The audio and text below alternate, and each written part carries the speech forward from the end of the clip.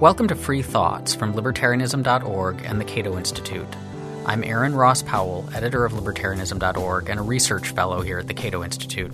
And I'm Trevor Burrus, a research fellow at the Cato Institute Center for Constitutional Studies. Our guest today is Doug Bandow, a senior fellow at the Cato Institute and author of the book Beyond Good Intentions A Biblical View of Politics. A lot of the times when Trevor and I post questions on, say, our Facebook page saying, listeners, do you have any questions for us or questions about libertarianism? One that comes up pretty frequently is something along the lines of Do you need to be an atheist to be a libertarian, or are all libertarians atheists? And well, obviously, the answer to that is no, because there are religious libertarians. There still is something to it, something they're picking up on. So, what's I mean, what's going on here? Is there something about, say, Christianity that makes it less likely that one's going to be a libertarian? Is there something about libertarianism that makes it less likely that one's going to be religious? Or is this is it not an accurate picture? I think there are a lot of issues that people pick up on. One of which is if you look at the current political constellation, you know, people who are identified, say, as religious right, they speak in religious and Christian terms. They tend to be conservative. They're not libertarian. There are libertarian positions, which a lot of religious people initially, I think, might find off-putting because they really react on a moral nature, say of drug use or something, which they don't like for moral reasons. They don't really think through the issue of whether this is something for the state to be involved in. I think part of it is libertarians – have long been in many ways nonconformists, non-traditionalists, rebelling against authority. Uh, I think part of it is you know, kind of Ayn Rand and the objectivist movement, which plays into kind of the freedom kind of movement. That people see that and they kind of take that as overall libertarianism. So there's a lot going on, but I think it's incorrect, and I think it's very unfortunate because, to my mind, you know, Christianity is very important as a life philosophy, but it doesn't tell you a lot about politics. And indeed, there's stuff to pick up from Christianity that I think advances a libertarian philosophy. And maybe there's something about anti-authoritarianism in, in there to some extent. Uh, the libertarians are often anti-authority, so maybe that ties in with being anti religious authority? Well, yeah, I think there, there, there's a danger of being against all authority, which is I'm very much against untrammeled state authority. That doesn't believe that I don't believe there are, in fact, proper authorities. I mean, within a firm, within a family, within a society. And I think you're right that some folks may perceive to take that too far. They just don't like any authority. Or, you know, some religious folks believe that the state should back up their authority, so they don't like anybody attacking, say, state authority. And there's also skepticism. That's the one that, that I think is very tied into just being skeptical about nearly everything. Uh, maybe lends itself to being libertarian and not being Christian or, or religious. No, I think that it, one should essentially be skeptical in any case. That is, one shouldn't take beliefs for granted. One should obviously think them through and believe them and have reason to believe them as opposed to simply take them on, from on high. So maybe walk us through then some of these. I mean, you said that there's there's not a lot. Christianity doesn't give us a lot about politics, but there's some. So how how can we move for say as a Christian libertarian? Are the are the Christianity and libertarianism totally distinct, or for the most part distinct? Like there's separate arguments for each of them that don't really have much to do to each other. But you've you've argued. I mean, in your book you argue there's there's actually reasons why a Christian ought to also embrace libertarianism. Can you walk us through what those look like? I would argue that Christianity is a transcendent view of the world that is consistent with a number of political philosophies. That is, I believe you could be a conservative, you can be a liberal, you can be a libertarian, you can be a populist and be a Christian. That at some very basic level, Christianity speaks to something very different. That is your relationship with God, with other people. So it's not something fundamentally a political philosophy. Now, there are Christians who I think get that wrong and they want to take Christianity and run off and act as if it is a political philosophy, but I don't think it is. So to me, that's the important starting point, which is there's a foundation there and your foundation can be many things. And that could be non-belief, it could be humanism, it could be skepticism, any number of things as well as Christianity. So that's my starting point. That Christianity provides a foundation. The question is where do you go from there? And I, as I read Christian scripture, it doesn't say a lot about politics. It says an awful lot about kind of people's obligations, duties to one another, how you order society, how you deal with God. But you know, you start kind of going through. I mean, when I wrote my book, I read through the entire Bible front to back, Old and New Testament. And you really don't find very much in there saying government should do X. There's a lot of stuff saying take care of your neighbor. I mean, you know, you kind of the, the famous Sermon on the Mount and the question of, you know, are you in the line, basically the line of the sheep or the line of the goats? And it's when you cared for the poor, when you took care of those who were hungry, when you, it wasn't, you know, when you called in the state. You know, the famous, um, you know, Samaritan. You know, it wasn't that you come along and, oh, there's a person who's hurt. Let me find the local government agency. It's you take the person and care for them. So to me, that's the critical point is that Christianity speaks to all this other stuff and the stuff on politics isn't an awful lot there. And to my mind, then it really that makes it consistent with, the, with libertarianism.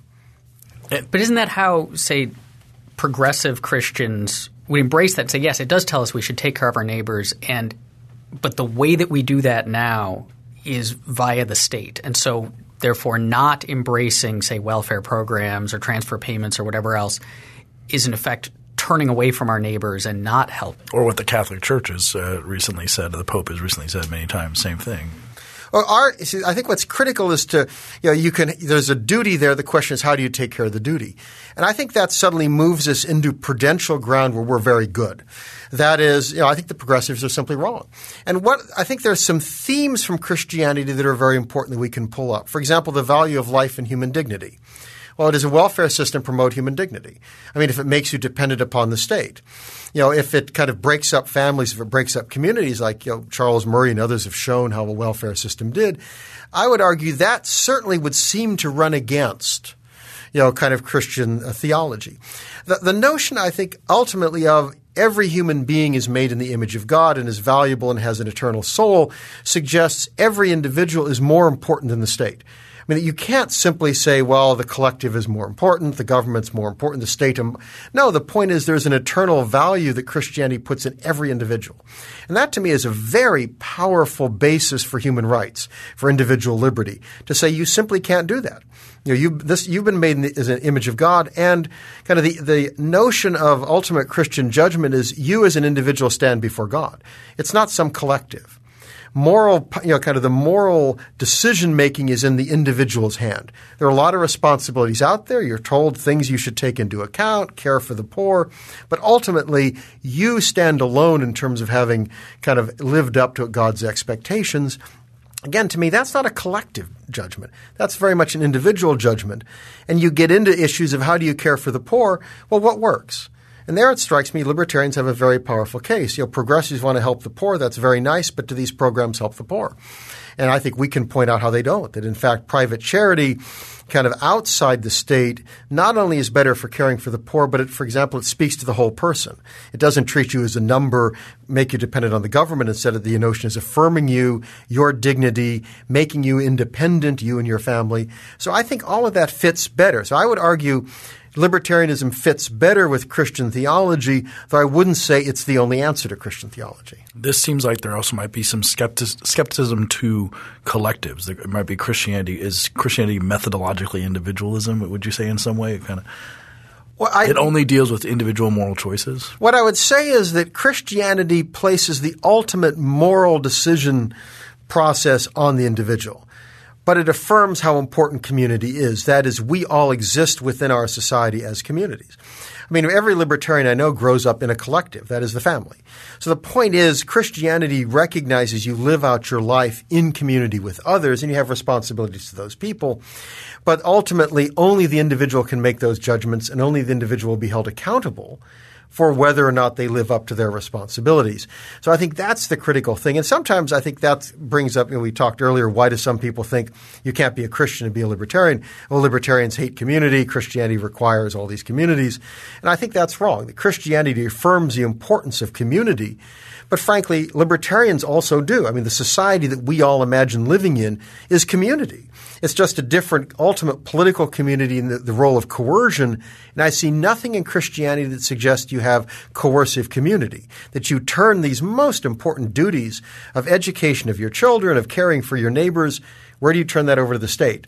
You know, we don't have a national love God administration which measures whether or not you love God or your neighbor. It also seems like trying to find lessons about the state in the Bible might be a little bit difficult because there isn't a modern nation state in the Bible. There's no theory of political obligation that they're trying to wrestle through. You've been conquered, and now you have to serve them, which is why we do see render under Caesar type of thing uh, with the with the Jews. Who of course, have always had a strange relationship with the state that they lived in. So maybe there are not a lot of lessons there, just about trying to be moral within a system that may be immoral or amoral itself. No, absolutely. Again, I think that Christian scripture speaks primarily to, to our relationship with God and with our neighbors. And a lot of that is because of the context in which the scripture arose. The Old Testament Israel, I mean, it, was a, a, geographic nation bounded, you know, and kind of tied to God, and then it was overtaken by all these empires. In the New Testament world, of course, it's the Roman Empire, you know, kind of bloody and ugly and nasty, but you're not going to be able to throw it out with, you know, the next rebellion. So it wasn't trying to come up with, well, what is a democratic society like? What kind of a political system should we create? That was not the essence essence of what Christianity was and what its thought was. And maybe that's something that that Christians older Christians, persecuted Christians, and Jews can teach about trying to stay out of the politics because they were constantly getting oppressed for their views. Uh, whereas someone who lives in this world, a libertarian, for example, who might be practicing different moral views, may feel similar, and so you persevere despite the forces on top of you that are trying to make you do bad things. Yeah, to some degree, you're looking long term. That the answer may not come tomorrow, but that's right. The perseverance, kind of keeping faith, is something that I think both libertarians and Christians can look at. Let me flip it and talk about the. We're talking about progressive Christians and why this focus on the individual says we shouldn't think about so much about the collective and but on the other side, the conservative Christians who want much more state involvement than a libertarian would, their argument seems to be more Christianity identifies certain behaviors as sinful and therefore and sin is is dangerous and we have lots of instances in the Bible of sin being shown to be dangerous not just to the individual but to the community in general if the community is sufficiently sinful. Sodom uh, and Gomorrah, for example. Right. And so and so therefore the role of the state is to stamp out sin. And this seems particularly troubling from a libertarian perspective because many of the things that get identified as sinful and stamped out are things that we think people ought to be free to do. No, I think that's right. I think that's especially kind of the impulse on the religious right. And I think that the problem there is they conflate what might be good moral standards as well as perhaps good standards for a society with what the state should do. And I think it's a fairly common mistake, but I do think it's it's a very serious one. I mean, what's interesting is if you look at again Christian scripture. I mean, the kind of Old Testament Israel was a very unique thing.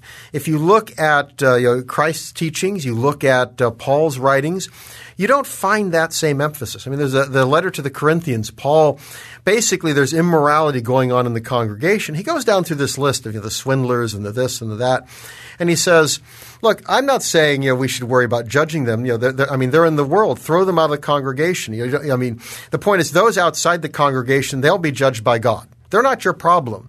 Within the congregation, maintain purity. And if they're doing these things, throw them out of the congregation. Don't eat with them. So his focus is on the purity of the, the faithful.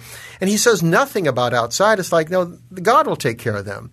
And I think that when you look at charitable giving, for example, I mean, you know, progressives. I mean, I'm you know, sorry, kind of going back to progressives way as opposed to conservatives, but you know, we have to have a welfare state. But you look at Paul. Paul talks about God loves a cheerful giver. He says, I mean, he puts a real guilt trip on these people. I'm going to come. I want to raise money for the faithful in Jerusalem. They have a famine. You know, I'm going to, and, and I'll be embarrassed. I've told them how wonderful you are. I mean, he's a great kind of you know preacher going out there saying, give, give, pass the plate. But nowhere does he suggest that it's mandatory. And you don't find that on anything else. I mean, the, the scripture says nothing about drugs. You know, that you shouldn't be drunk. I mean, there's alcohol that's served. It says nothing about any other kind of drugs. So there's you can argue that Scripture would suggest you shouldn't be too inebriated in, in, in, terms of drugs as well, but there's nothing there that would suggest the state should stamp that out. I mean, there's nothing there that talks about what should the state do in terms of uh, you know marriage, in terms of sex, in terms of homosexuality. You know, it sets a moral standard, but nowhere is there anything in there that says, ah, and the state should enforce this. And that's where I think conservatives get it wrong. That you know, the moral standards are going to survive not because of the state behind them. They survive if people believe in them. And I think what we've seen today is those moral standards have changed. That people have very different beliefs. Well, then the state's not going to be able to protect them. I mean, you know, the game is over, and there's nothing in Christianity that suggests run off to Caesar and try to get him on your side. That's just not there. It's preaching out there. It's living by example, which is really emphasized many times in the New Testament. But it seems like a strategic move that makes some sense and, and maybe immoral for different reasons. But if you if you say I don't want the state encouraging this behavior, and if if make, even making it legal is a form of encouragement, so the the, the Christian the Christian conservative argument is community is paramount, family is paramount, and the state passes policies or or allows things that constantly are predate on it. So wh- why isn't it totally in the interest to to keep that from happening? I mean, is there a political theory there that says the state isn't allowed to touch certain certain moral behaviors, or is this just saying we, we need a community? We need we need the government to enforce community because God is is above the state. Well, you certainly can understand why you know people feel fearful. For example, drugs with my kids. How do I save my kids from drugs? And they think, oh well, we'll have the government ban it. Of course, we can point out in practice, I mean, that's a prudential argument, is in practice, the current system makes it more likely kids are going to get it. You create a vast black market, you put a lot of money into the criminals' hands, they're going to go out and try to get kids, that what you're trying to achieve, you're not achieving.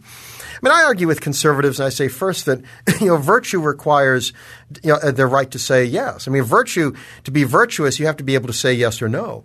You know, coerced virtue is not really virtue. And if you create this system where you turn moral issues over to the state, you have no reason to think you're always going to win. I mean, you really can't get upset if progressives take control and decide to push their agenda. You know, the, and it's very important, I think, to separate the notion of law and kind of approval, signaling, moral sanctions. I get that occasionally. Oh my, if you legalize drugs, it shows society is approving them. My answer is no.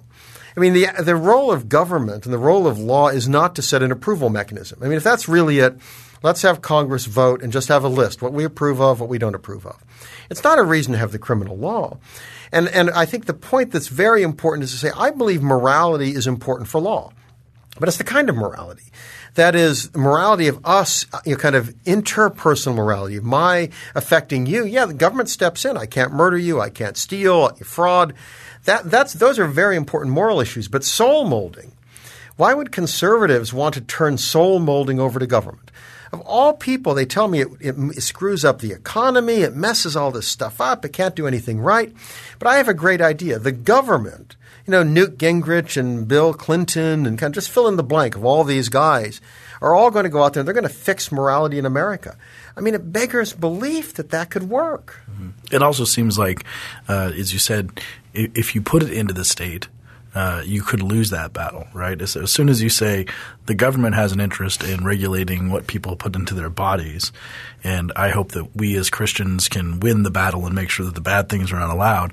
But of course, the very next turn is to have big gulps. You know, you can't. It's hard to make a principled division between marijuana and banning big gulps, and then the, the other side wins the battle, and now everyone's just fighting over what you get to put in your body, and that doesn't seem like a good way to live a moral life. Exactly. If you're concerned about moral education, do you want? I've never understood, you know, Christians, for example, who believe prayer in school. I mean, the real issue there, of course, is public schools. And if we had private education, it wouldn't matter. You could, you know, whatever education you wanted your children to have, they could have. You wouldn't be offended because somebody else is imposing their views.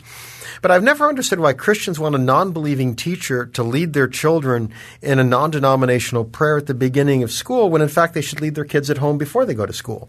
I mean, it makes no sense to me. And I think a lot of it's symbolic. Some of these issues I think get argued about when it comes down to you're feeling pushed out, you think you're losing the cultural battle, so you try to find something to fight. But I think a lot of these things are, uh, they're not helpful, and many of them I think are harmful. You don't turn these issues over to the state. And to the extent people believe it's the state's job, you lose the power of you know, the church. You lose the power of families. Morality shouldn't come from the state. It comes from society. It comes from institutions within society. You don't turn that over because you weaken those institutions that are so important for creating a moral climate. Non Christians, though, seem to think that if we that the problem is not so much the state is too powerful and is pushing things out, but that that religion remains. If we don't have the state involved, then religion will become too powerful. So the the recent Hobby Lobby decision, the the kind of backlash against it from progressive directions was this would allow people with extreme religious views to force their views upon huge numbers of people who disagree with them, and there's the arguments against, say, private education, which is that if we turn it over and we allow religious parents, then they'll teach their kids things that the rest of us either don't think are true or think are harmful or whatever. So there's this kind of back and forth about the religious people feeling like the state's pushing them out and the progressive thinking is not pushing them out enough. Well, of course, the problem of liberty always is some people use their liberty in ways you don't like. I mean, I'm always struck by the idea that, oh, we can't let you decide how to, you know, teach your kids because somebody out there might do something bad. No doubt. 330 million Americans, somebody out there is going to do something bad. But does that mean you turn this all over to the state? I mean, the rise of public education was kind of a civil religion Protestantism that wanted to dominate and make sure nobody else could get in there. So the whole rise of public education was an attempt by a certain theological view to impose that upon everybody.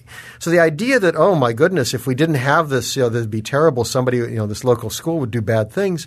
The moment you do this, you turn power over to a group that can impose it on everybody. I mean, the Hobby Lobby case, I mean, the simple point is the government shouldn't be deciding who provides contraceptives. I mean, 95% of health plans today have this. Why does the government have to go out there and decide exactly what goes in there? I mean, that's the imposition. To me, that's the problem. Is if government's going to reach out, excuse me, and I just I wrote my latest Forbes Online column arguing one of the challenges on this area now is that government takes over so much of, pub, of, of, life. That in the early Americas, I mean, government didn't matter a lot. I mean, the federal government do, didn't do much, and states did more, but they didn't do a lot. So when you talked about kind of keeping religion out of government, it was easy because, I mean, what, you know, what was government doing? Not much. But today, government wants to take over education, government wants to take over healthcare, government takes over social welfare, government takes over social services. So as you do that, suddenly all these people are saying, wait a minute, I mean, these are areas I want to kind of live my faith, and now government's expanding. And that's what Hobby Lobby is, where suddenly government shows up and says, we're going to tell you what you have to fund in plans, even if you happen to think it's an abortifacient, which is the issue in Hobby Lobby. They actually, their plan had contraceptives. There were like four of them that they viewed as an abortifacient, and they, that they were unwilling to do. I mean, the imposition is the government showing up and telling you there are 20 things that have to go in your plan. There's no necessity for that. I mean, that expansion their government is imposing, and that's where I think progressives get very on very dangerous ground. I, I think there's an element there they really want to impose this. It's well beyond everybody should have access, but they want those people because they don't like those views. You should you know be forced to do that. To my mind, Hobby Lobby was a very narrow decision, but a very important one because it said at some point no. You know, the state can't go everywhere. We've got we've got to set some limits there. Does it seem like um, a certain type of Christian is is needed to be a libertarian. What I mean by that is you'd have to be somewhat pluralistic because there's other Christians, and this might just be a Christian doctrinal debate, but who literally think it should be maybe illegal to be other religions or want to make other practices illegal or other types of. of uh, that was, of course, historically true. Um, it seems like you would need to be a reasonably pluralistic Christian who lets sort of live and let live to keep to keep the state out of there, who's not trying to enforce Christian morality. I'm not aware of many Christians today who'd make it illegal to be a different faith. I mean, I yeah. do think that 500 years ago. Yes, yes, yes. Thankfully, that really is gone. And at some level, I mean, that's kind of a reformation. It's a Vatican II. It's stuff that's happened that, to my mind, I mean, in a sense, that's a problem that Islam has to deal with. That Islam needs that same kind of process. I mean, there are a lot of Muslims who don't believe this either, but you know, a lot of the activists and the ones who are problems, they haven't gone through that struggle to be able to say you know, no, you can't kind of impose this on everybody else. I do think the real problem comes in, and it's interesting. You get you know, kind of where in some level you get progressives who want to take some of the economic strictures, I mean, Jubilee laws in the Old Testament or something. And then you get conservatives who want to take moral laws. And it's not that you can't be a non-Christian, but you have to live by Christian rules. And that I think is still out there. And they typically don't put it in terms of you have to live by a Christian rule, but it's kind of this is a rule that I think is just, and therefore I want to impose it upon you. And both sides do that. That I think is problematic. So I think it, has to be a recognition that you know they live in a society which is very diverse. I mean, even the American, early American uh, America, the American colonies were diverse. I mean, this was not just one group. A lot of dissenters fled the Anglican Church, but the Anglicans were there. Uh, Rhode Island was noted for its dissenters. A lot of Catholics in Massachusetts. There were Jews in early America. So even the early American, I think that's the First Amendment. The genius of the First Amendment was to say no establishment. I mean, you can't have government creating and supporting religion at the same time protecting practice with the idea you didn't want to let anybody grab control of the state and use it either to promote their sectarian views or to suppress sectarian views they don't like. And that's often the most dangerous. It's not you know, kind of religious people against non-religious. It's religious people against the religious people they really don't like, and you know that's where you get the conflict. If you had, there's an old quote. Uh, Uh, I, I, can't remember which founding father, but if you had one religion, it would have been a despotism. If you had two, they would have been each other's throats. But we have 30 and everyone lives in peace because kind of you get a mutual agreement to lay down your arms if there are so many religions around you and you might lose in the face. But the problem with that, of course, is the Jerry Falwells or the Pat Roberts, the people who think that Hurricane Katrina happens because of sin. It seems like it'd be pretty much impossible to make them into a libertarian, but they're just wrong about doctrine, perhaps. But uh, to, to, my mind, we don't have to make them into a libertarian. I mean, there are always going to be people out there with some rather strange theological views, and they're going to come up with some strange applications. I mean, and these people obviously think that I have strange views and strange applications. I mean, plur- any pluralistic society will have that. And that's going to be across the spectrum. That will go from you know Christians to Jews to Muslims to Hindus to free thinkers to anyone. The critical thing, I think, is to make sure the state is kind of walled off and limitations are there so none of these groups can grab control and use it against everybody else. And that to me is the real danger. And that comes back, I mean, the great Catholic thinker Lord Acton about power tends to corrupt and absolute power corrupts absolutely. I mean that you know, and to me that's a wonderful aphorism that fits with the Christian notion of original sin. I mean, I ask my Christian friends, "You believe mankind is inherently sinful?" Yes.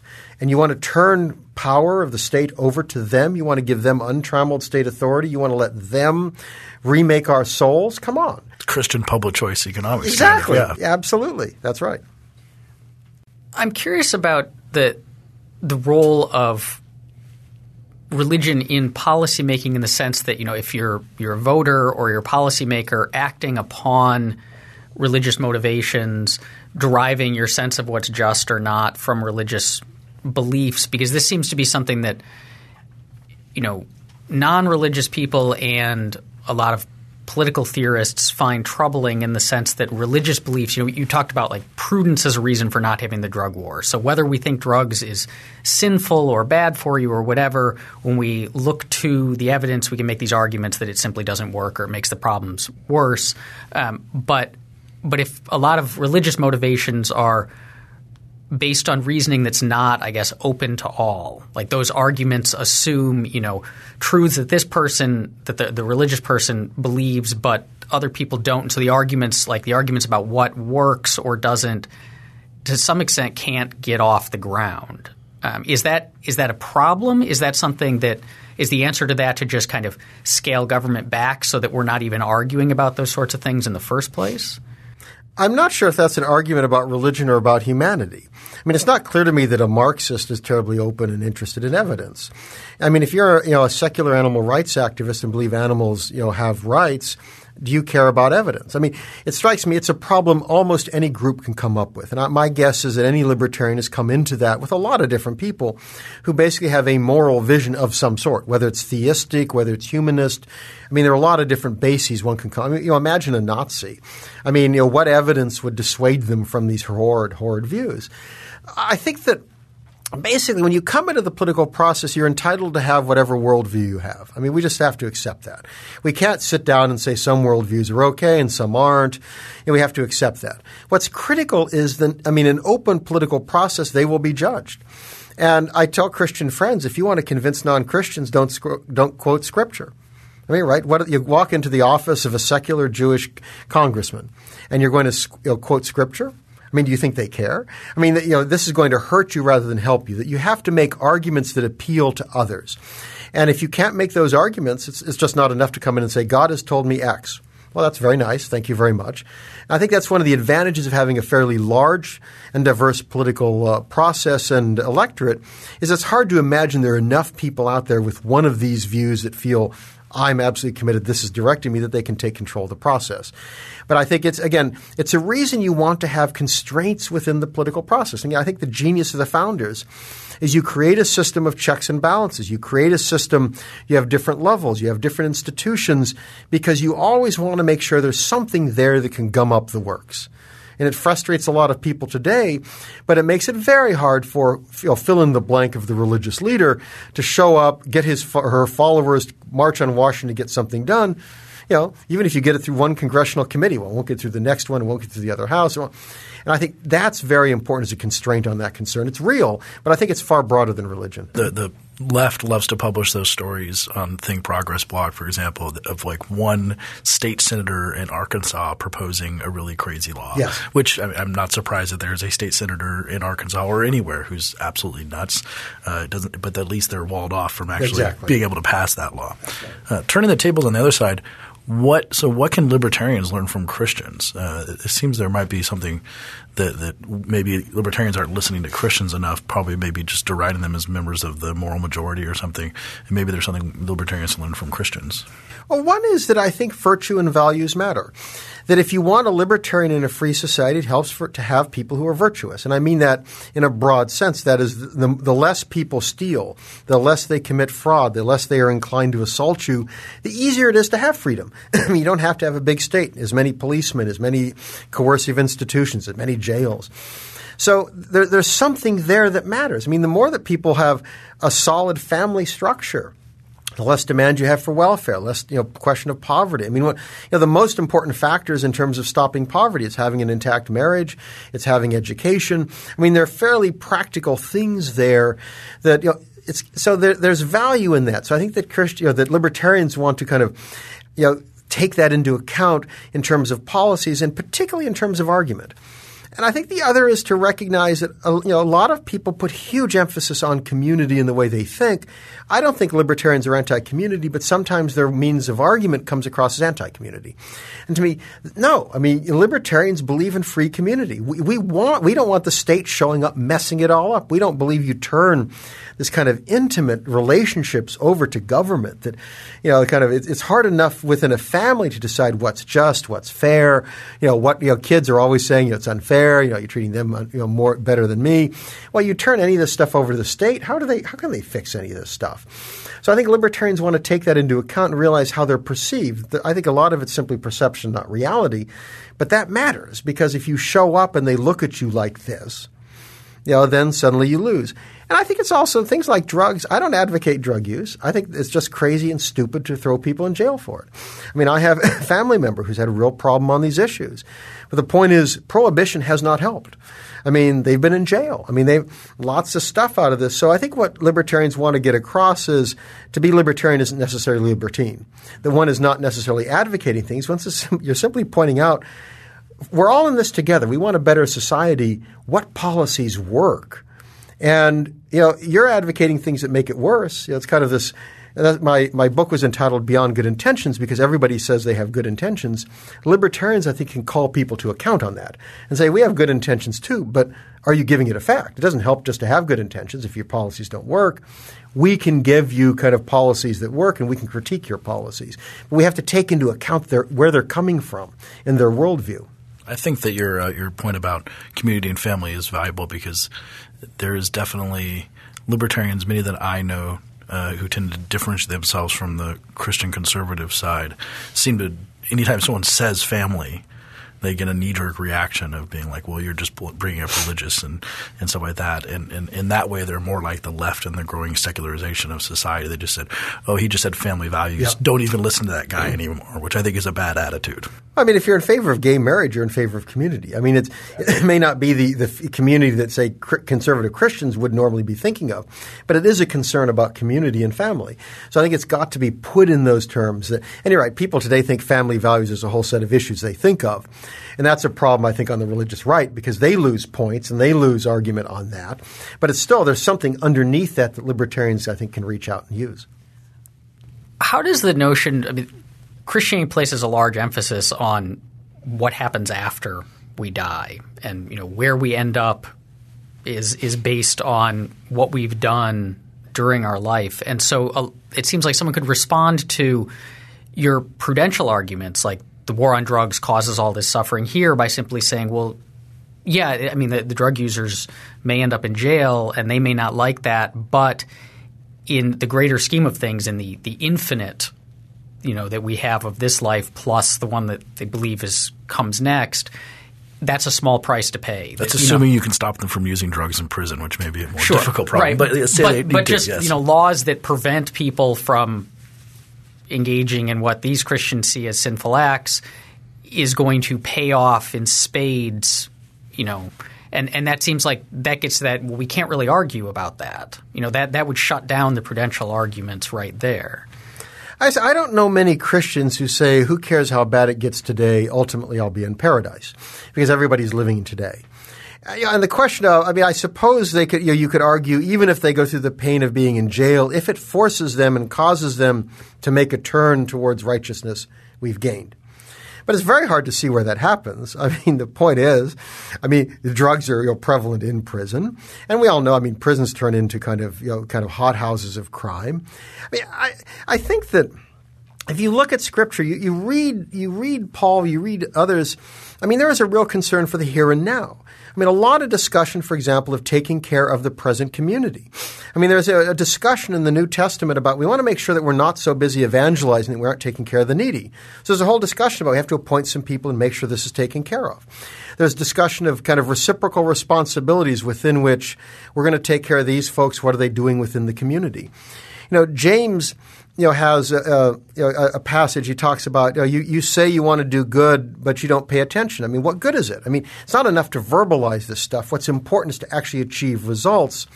Uh, I mean, you know, there's a point where he says, you know, if you want wisdom, ask God for it. But the idea is to use wisdom to make things better. I mean, it's not just a oh, you know, kind of do this stuff, paradise will happen. There's very much a sense of the here and now.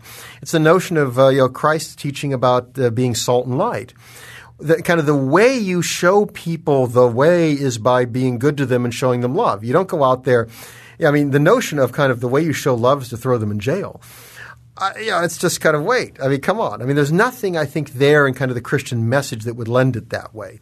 I mean, so again, if you get some folks out there who have a very strange, I mean, look, you, if you, you know, you, it's a problem you get on jihadism, right? I mean, I want to go to paradise with all the virgins. They're going to kill people today. A certain number of those people, you ain't going to change their views.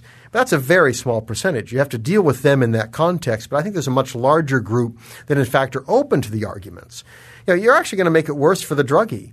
You're going to put them in prison. Then they come out. They have no job opportunities. What are they going to?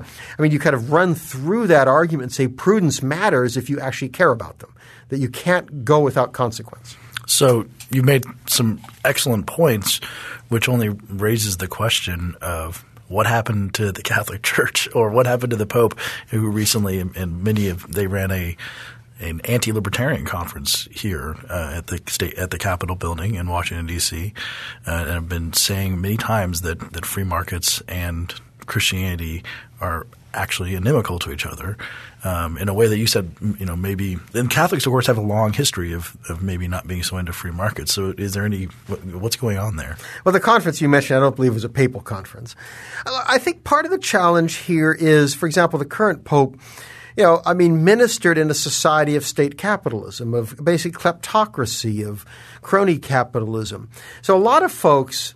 I mean, I, I, once was at a conference on kind of religion and economics, and I had somebody say, "What do you mean about capitalism? I mean, what about Marcos of the Philippines?" I had to explain that's not. I mean, this is not capitalism. This is somebody kind of loots the system. And I, so somebody like that, I think, has a very different vision of what capitalism is. And I mean, it's interesting. I think that Pope John Paul II was very different in some of his Centesimus Annus and some of his other teachings. I mean, this is a man who'd grown up under both Nazism and communism. And he had concerns about capitalism. But you saw a very different sense in the way he talked about this. He talked about, you know, the, the business economy was a good thing. And there are a lot of activists out there. I mean, I think of um, Robert Sirico at the Acton Institute. I mean, the, the whole, you know, originally the scholastics going way back within Catholicism, there's always been some strains there. You know, it's unfortunate. And I think a big part of the problem I've run into when you talk to, especially kind of professional clerics, and I don't mean that in a, a negative sense, it's just, you know, if you're the Pope, I mean, your career is in theology and in kind of ministering. It's not economics. Is you don't know much about these issues. I mean, you, you pick up some of these documents and you read them and you say, where they – where are these people coming from? A group called Evangelicals for Social Action. At one point, I know the, the person who runs it, and he'd sent me some of their material. You know, and he, they sent me an article they did on housing. I think it was housing that didn't mention zoning. Well, you, you can't talk about housing prices and access to the poor without mentioning the fact that government determines how dense your housing is and how costly it is. You know, so you have people there who are kind of see capitalism isn't working because poor people don't have homes who don't note this intermediate step what's the government that actually determines how the expense of so you people make these really kind of crazy pronouncements and it, it shows we still have a lot of work to do. I'm curious about the history then. I mean we, we have work to do but there's been a lot of work that's been done in the past. And so i'm curious about the, the overlap between Christianity and movements for liberty. I mean, we I know that a lot of histories of the libertarian movement tend to begin with struggles for religious freedom, but but just in that scope, I mean, what how has Christianity, how have Christians been involved in the, the broader movement for liberty? Well, I, think, I mean, certainly historically, again, I go back to the notion that if you if you present a theology that says there's something uniquely valuable morally about a human person, every human person, that, in and of itself, sets up a very important foundation for creating checks on government and checks on politicians. And I think if you look historically, kind of two things worked in tandem. I mean, you had a struggle between kind of church and state. And you think of, say, you know, uh, Great Britain, for example, and disestablishing the Catholic Church and creating the Anglican Church. And, you know, so you're getting a struggle there. And then at the same time, within the political structure, you know, monarchy versus parliament, that you're seeing things break apart and you especially after the Reformation, where you see a break suddenly where there's no longer a monolithic church, but suddenly now there's kind of a competitive environment even for religion. All of that was very important. I mean, that's coming out of an age of absolute power. It's coming out of an age where lots of tyranny. But I think together they worked very powerfully. I think what you see today you know, clerics are, it's more likely to be on particular issues. I mean, there was a lot of religious involvement against the Vietnam War. There was religious involvement against, you know, on pro civil rights and against you know, Jim Crow and segregation. Uh, you see religious people today, you know, kind of speaking, I think, in prophetically in many ways on, say, war. Um, and while some of them get it wrong, I mean, progressives who want the welfare state, there's some value, I think, in talking about, well, we do need to care for people. Then the question is, how do you do it? So there, there's, there's, they're involved you don't really have kind of a Christian libertarian movement of, of great political significance.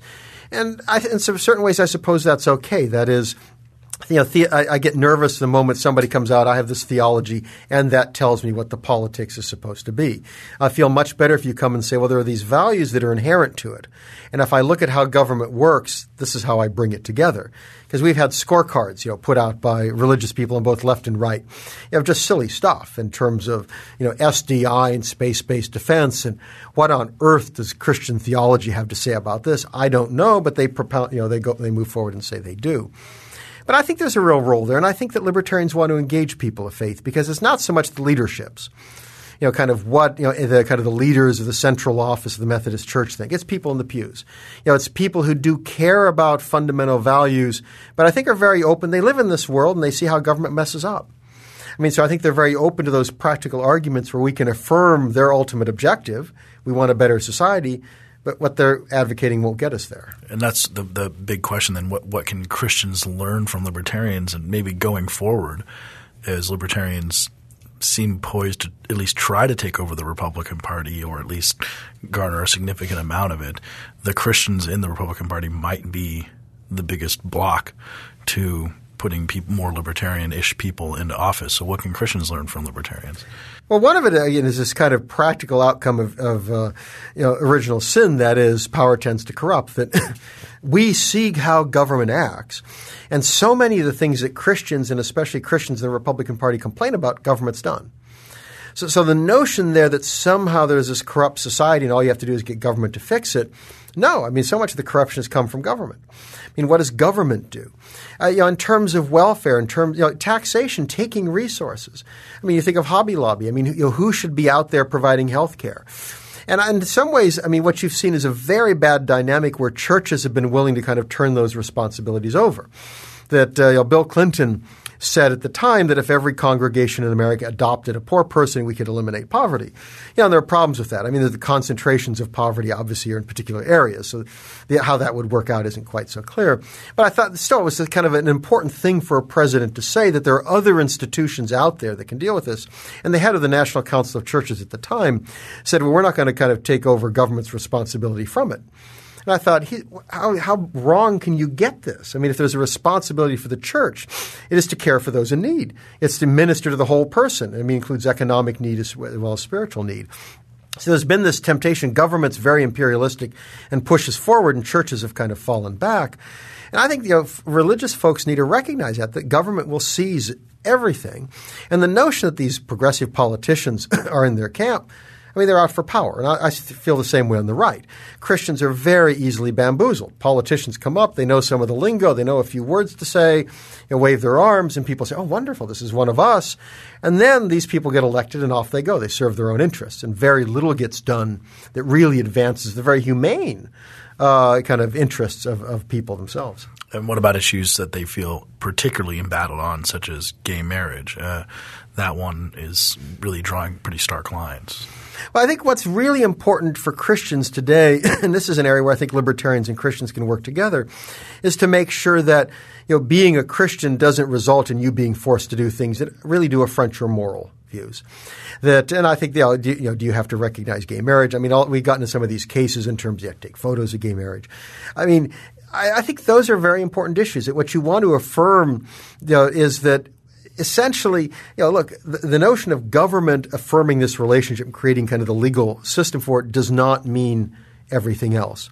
And I think that Christians need to recognize it's important how they speak about these issues. It's important that what they, they don't propound the notion we want to go out and discriminate against people. We hate these people, but it has to be much more of certain moral values are important to us. You may not like it, you may not understand it, but it really is part of us, and government shouldn't come in there and kind of seek to kind of change that. And I think that's one where you know, certainly Christians and libertarians have something where they can come together on. And you know, I mean, Christians need to recognize that you know, the moment you go to the state, I mean, should marriage even be a government issue? I mean, you know, to some degree, why should that be a government issue?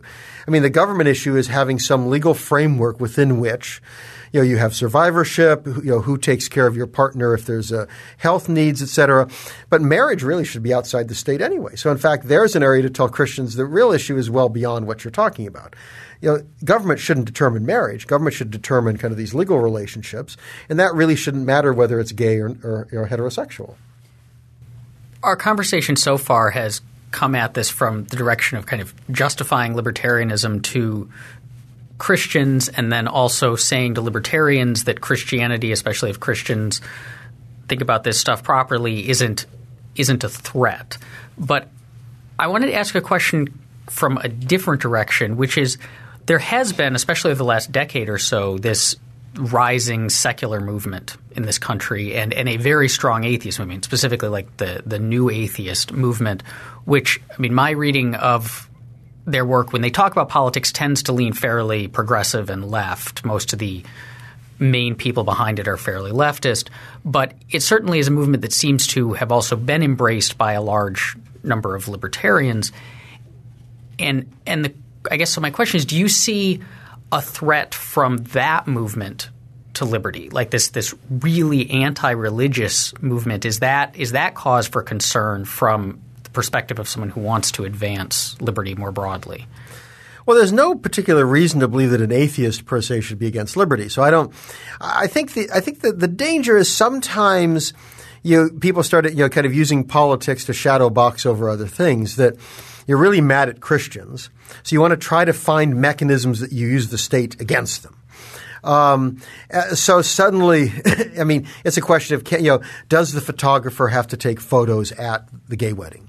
I mean, I never. I mean, if you're, if your gay is getting married, why would you want a photographer there who doesn't believe in the ceremony? I mean, it strikes me the obvious way to handle this, but you do get, I think, a militant sense of no, we are going to make you do this.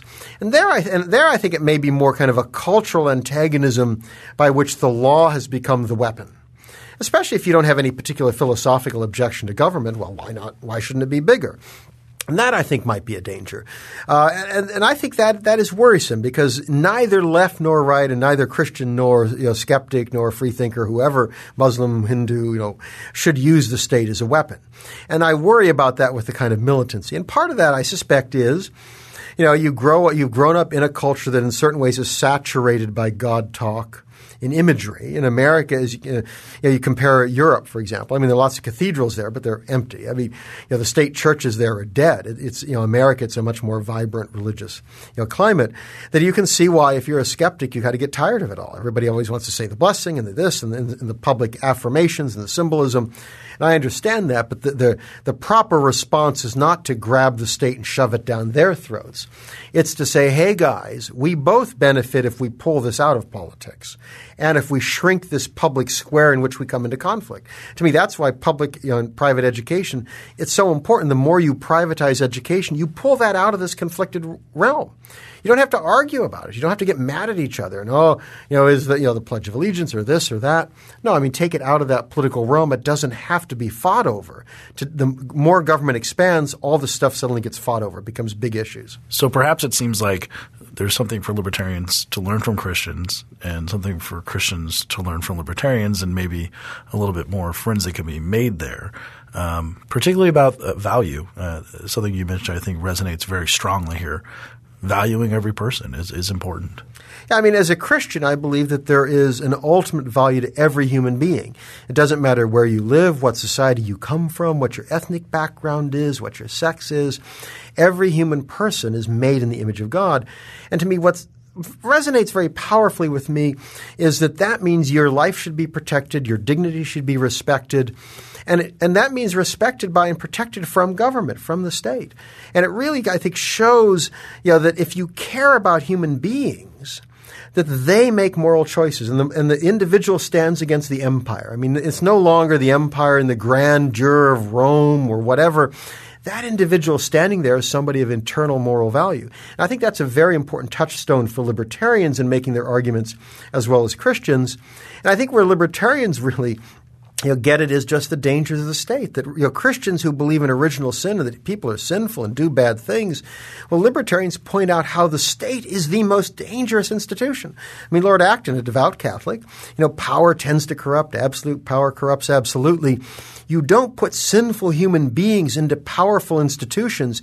Give them opportunities to victimize others. No Christian should want that. Christians of all people should recognize the dangers of that and want to have constraints and limitations and recognize most of these issues, and especially answering kind of for your, your life, it's God.